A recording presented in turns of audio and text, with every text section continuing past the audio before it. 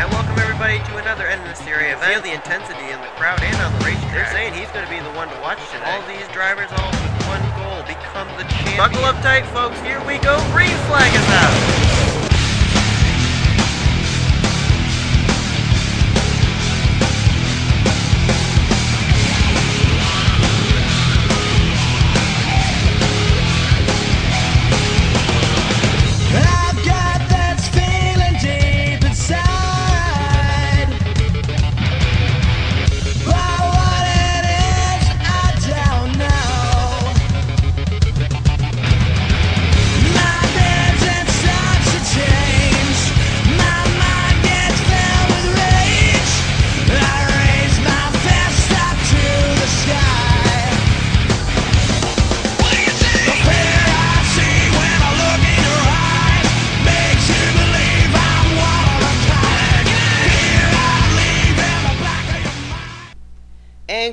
Race fans. Welcome to Kentucky Speedway as we prepare for the YouTube Fan Week here at this amazing one and a half mile racetrack. Here today, we're getting ready for the Gordon Fan 291200, and uh, we're looking forward to this here today. Uh, if you want to sponsor a race during th this week, there are still a total of seven more races and uh, if you want to sponsor one of them, the Division 2 Truck Series race, any division of the Mobile or any division of the Snickers, leave it as a personal message and uh, send it to me as a personal message, and I will be sure and get you in there. As soon as those uh, remaining seven spots are filled, then unfortunately nobody else would be able to have their YouTube account, you know, advertised here. But nonetheless, this is the Gordon Fan 291200.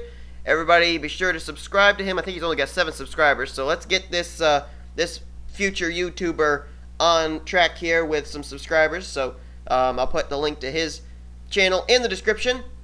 But today we're getting ready for some racing here at Kentucky Speedway. It's the first time that the Kentucky Speedway has been featured in the NNSCRA schedule. It's replacing Quarter Slammer, where we had some pretty good races last year, but it really was not a lot of action. But Kentucky, I think it's going to pay dividends. I think we're going to have a lot of action here today. As Zohar Mana is going to be on the pole for this race. Alongside him, going to be William Duncan. Then Richard Johnson will line up in third alongside of Cole Fralick. Ray Wilson and LJay Wilson will make up row three. LJay Wilson, I'll tell you what, that's one driver you want to watch out for. Been very consistent so far this year and looking to try and continue this consistency as he's still looking for his first win as a rookie.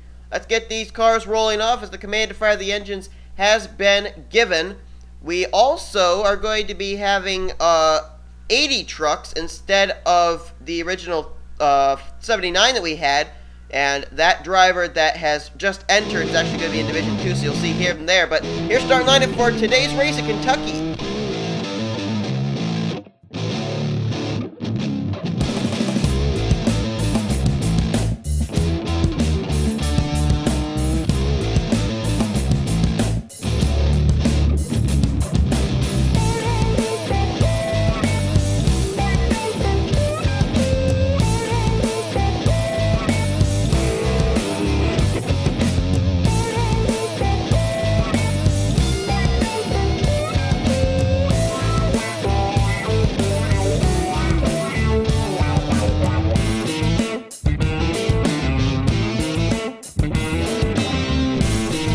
This is Zohar Mana's first career pole award here in the Truck Series as a rookie. Zohar making his fourth start here in the Oreo Truck Series. Alongside of him, William Duncan.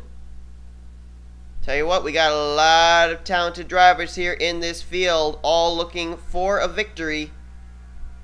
And here they come out of turn four.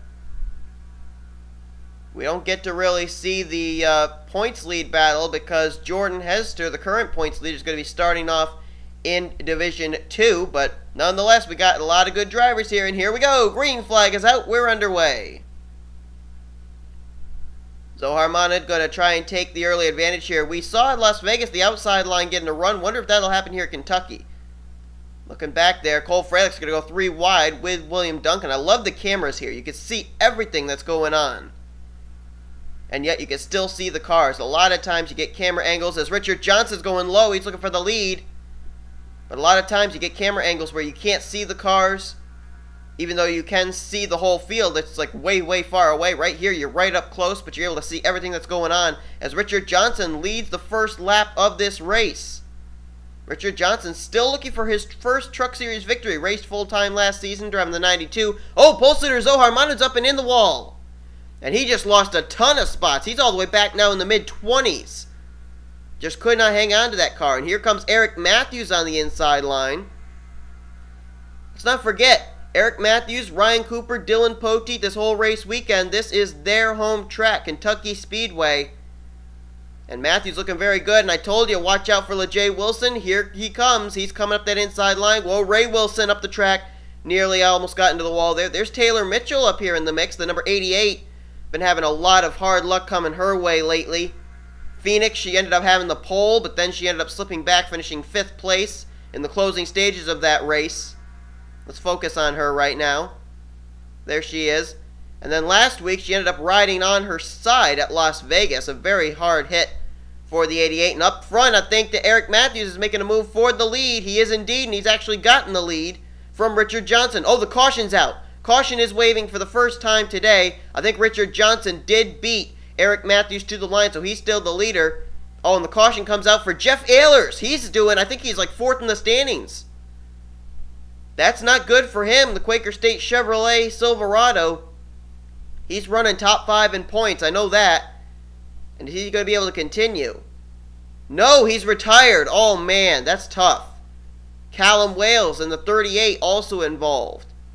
Also, some rear end damage to James McCloud. Rohit Vadarevu looks like he got a piece of it as well. Let's look back at a replay of what happened. Jeff Ehlers doing very well in the standings is not going to be pleased with the finishing result today here at Kentucky. Let's see what happened. Now this wreck took place on the front straightaway, and watch right here, they're actually five wide. Cody Llamas, James McCloud, oh boy, you got Callum Wales there, you got Jeff Ehlers, and who's going to do the hooking? Oh man, they're awful tight off here, and oh, there it is right there. I think maybe Joseph Bryant got into Callum Wales, turned him into Jeff Ehlers. I think that's how it started. Now you just see him going up into the wall. Tough break for McCloud, a tough break for Wales, Ehlers, and Rohit Vadarevu. Man. Hard, hard impact right there, and race official was definitely able to know if a caution had to be thrown or not. It was right underneath them, all that action. Looks like Rohit Vadarevu and James McCloud are continuing. Callum Wales has quite a bit of front end damage, though, and we also know that Jeff Ehlers has retired. So let's go back and document what those drivers are going to do. Can they continue, or will any of those three join Jeff Ehlers back in the garage area? What a tough points day for Ehlers. He was top 10 in the standings coming into this race. We'll get ready to go back to green flag racing. Only two drivers out, Jeff Ehlers and Callum Wales. They've gone back to the garage area. McCloud or Heat Arbu, they made repairs to their cars, returned to the racetrack in 37th and 38th. We have crossed the halfway point already. Not exactly a real long truck race here at Kentucky, but we still are only halfway, so there still is plenty of time for drivers to make their moves to get either a top 10 or a top 5, or possibly a win. I don't think we're yet done with that battle for the lead. Richard Johnson's the leader. Eric Matthews is second. Cole Fralick third. Ray Wilson fourth. And LJay Wilson runs in fifth. Leia Walker runs sixth, seventh William Duncan. Taylor Mitchell up here in eighth, ninth place is Eric Burton with Rhett Yates in tenth. Eleventh place is going to be Taylor Acosta. Anthony McCurry is twelfth. 13th Dylan Schwallenberg. Charles Jackson runs 14th. 15th Jack Richards. 16th Lisa Shears. 17th is David Rochester with Barney Warden 18th. 19th Brandon Gonzales. And completing the top 20 is Trent Dunham. 21st place, that is Kathrine Young. Jacob Cook 22nd. 23rd is Tyler Manson. Dunn LaPradd 24th. 25th, Zohar Mahnud. 26th is Sam Young. Zach Buchanan is 27th. 28th, Joseph Bryant, making his first career start in the 17 here in the Truck Series. Brian James, remember he replaced Jason Marshall, who was actually last week's winner. Uh, he's going to be 29th on this restart. 30th, Cody Llamas. 31st will be T.O. Bayne with Toby Ward Warden 32nd. 33rd, Pichu London. Red Belle 34th.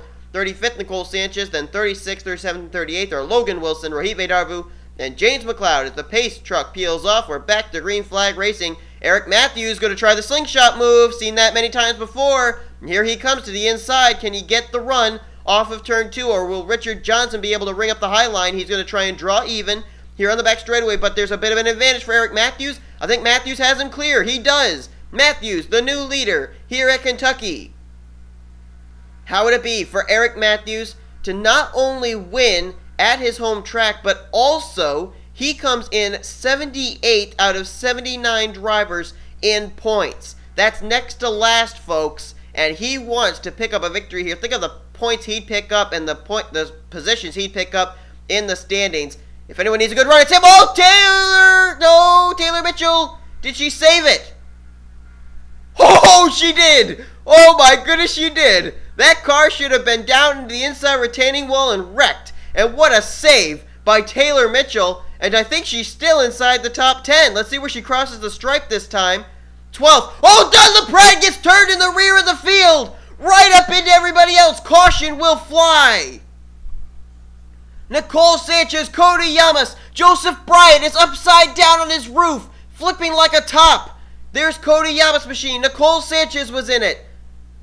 Logan Wilson, Pichu London, but Joseph Bryant goes for a wild ride. Toby Ward involved as well. Eric Burton, our Daytona winner Tyler Manson. Oh, I think David Rochester and some others got into trouble here in turn three. Pole sitter Zohar Mahnud's in it. Lisa Shears is in it. And there's a huge wreck. A T.O. Bainen's involved. Sam Young is in it. Jack Richards heavy front end damage. Taylor Mitchell is involved in a wreck, along with Kathrine Young, Taylor Acosta. Huge, huge pile up here. At least two different incidents taking place. And Eric Matthews was the leader under the caution flag. We may end this race under caution. Eric Matthews may have just sealed and dealed the win, but we got to look back at a replay of those two incidents, two humongous incidents, taking out, I'd say, about 20 cars between the two wrecks, with Eric Matthews leading under caution. Let's look at a replay. Well, all I know is I saw someone turn Dunn LaPradd there on the front straightaway. I'm going to wager a guess it was Sam Young. Watch him make a move down here, trying to go on the apron to make a pass for 22nd. And right there, he hooks Dunn LaPradd. Dunn LaPradd's had a lot of hard luck in that one car, having a tough rookie season. But watch right here. The speed he's going is 160 miles an hour. Watch this hit with Joseph Bryant. And then Bryant's going to get T-boned by Cody Llamas. That just sends his car up in the air and onto its roof. Oh man, look at Cody Llamas' car bounce back right off the outside safer barrier. That shows you how many G's that thing went into the wall at. Oh, Red Belle runs into the back of T.O. Bayne. Look at Bryant's car. My goodness, Toby Ward gets a piece of it as well. There's Nicole Sanchez involved. There's another car there. Logan Wilson involved. Pichu London we mentioned was involved. Look at Joseph Bryant, though, still on his roof. Still flipping and barrel rolling. I'll tell you what, Brian James, in only his first Truck Series start, did a good job getting through that wreck. But just look at the cars littered here and look at Joseph Bryant's machine. How that car came to rest on all four wheels, I'm not sure, but he took a lot of hard hits right there. So did Cody Llamas. I mean, that car just slingshotted back off of the outside safer barrier. I wonder how fast he was going when he hit the outside wall. But let's look further up here. Maybe the wreck's already happened. Oh, yeah, it has. Whoa! Were there two other incidents that occurred here? Yeah, there were. There was a wreck that occurs even further up, but we're going to look at this one first. Where's this contact start? Starts with... Oh, man, Taylor Acosta... Oh, Trent Dunham turns David Rochester into Jack Richards. Meanwhile, Eric Burton, Taylor Acosta, and Taylor Mitchell make contact further back. Tyler Manson gets turned off the nose of Zohar Mahnud and watch Mahnud come down and pound the inside retaining wall. Hard hit for our pole sitter. Jack Richards further up. He's going to get nailed in behind from behind by uh, Kathrine Young. Oh, Lisa Shears was upside down. What is it with these cars always flipping over here? My goodness, Lisa Shears flipping and barrel rolling. Kathrine Young involved. I guess there's nothing further up here that happens. Oh, Lisa Shears gonna gonna hitch a ride here. Gonna hitch the 530 on the Jack Richards Express. There's Taylor Mitchell. Looks like she actually got away with very minimal damage. So did Jacob Cook. So did Taylor Acosta. There is David Rochester, though. And there's those cars back there on the apron. Tyler Manson, our winner at Daytona. Trent Dunham and Eric Burton. But this was a huge, huge wreck that occurred here. Oh, and then Zohar Mahnud, as if flipping and barrel rolling wasn't the icing on the cake for the 0-2, Mahnud comes in and plows straight into Lisa Shears. That's a huge, huge wreck that occurred right there. My goodness. Lots of damaged race cars, and this race may be over due to this huge pileup taking place here on lap 10, and right there could be your. Whoops. Right, uh, whoops. There's your possible winner, Eric Matthews, unless we can get back to green. Let's find out if that'll be the case. Well, he started off this race in the sixth position. Today, he's going to finish numero uno. Eric Matthews. The lights are still on atop the pace truck when we had the white flag displayed last time by. And how about this? Eric Matthews, who comes in 78th in the standings, that's next to last, folks. He's going to pick up his first career NNSCRA victory and his first win in the Oreo Truck Series. Unbelievable. How about this? Hometown hero gets it done. Eric Matthews from Kentucky wins the Kentucky Speedway. They're going crazy. A standing ovation on the front straightaway grandstands as Eric Matthews will come out of turn number four He'll come down at a measly 55 miles an hour behind the pace truck. Don't think he cares, though. He will win today at Kentucky, just mere feet away, and he is the victor in the Gordon Fan 219 200 at Kentucky Speedway. Quite a run for Leia Walker will finish in second. Ray Wilson third. Richard Johnson led seven laps today. Eric Matthews led the other seven. Johnson will get fourth. And Cole Fralick, a great run for him as well. He'll finish in fifth place. Hope you guys enjoyed today's race.